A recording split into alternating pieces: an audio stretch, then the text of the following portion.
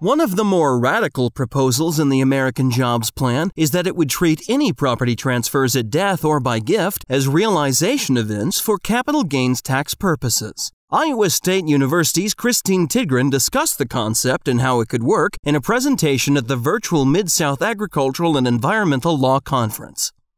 The really radical provision within this proposal, and, the one that, that really that, that, they believe has to be in here in order to make the the increase in tax rates actually something that generates revenue is that it would treat any property transfers at death or by gift as realization events. Now, what does that mean? Well, it means that beginning in 2022, if you die and you leave property to your heir, and that property that you owned had appreciated in value, you would be taxed on that transfer as though you had sold the asset, meaning that there would be a capital gain tax triggered on your death for the amount of appreciation of that asset that had occurred during your lifetime.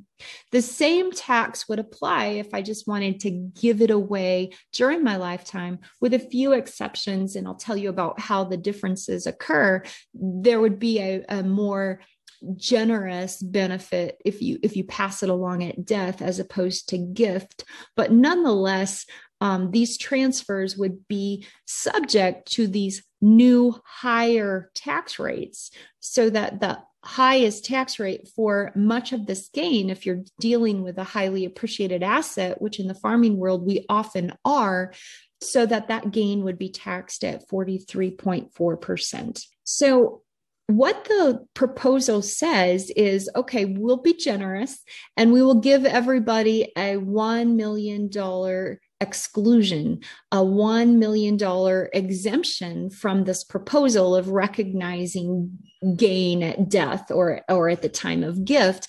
And this $1 million exemption would be one for each part of the married couple. So if you had a husband and a wife, they would each get their own $1 million exemption and that would be shared between them. So it would be portable. And so essentially a husband and wife could exclude $2 million of gain. You would also be able to exclude gain on your principal residence up to $500,000.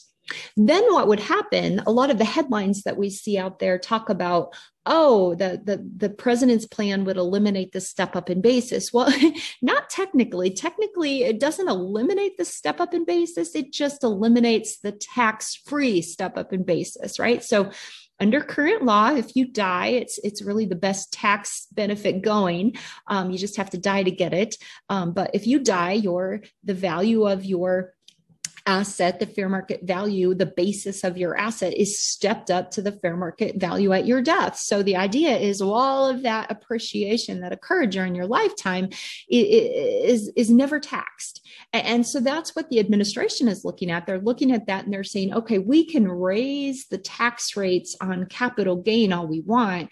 We can we can make them 80%, but we're not we're never going to raise any revenue if we don't include some sort of provision that makes this gain taxable because if we have exorbitant tax rates, what people will do is just hold the property until they die and wait for that gain to, to go away or even if there were just a carryover basis, they would just transfer the property to their heirs and, and the heirs wouldn't sell it and the heirs would transfer it on.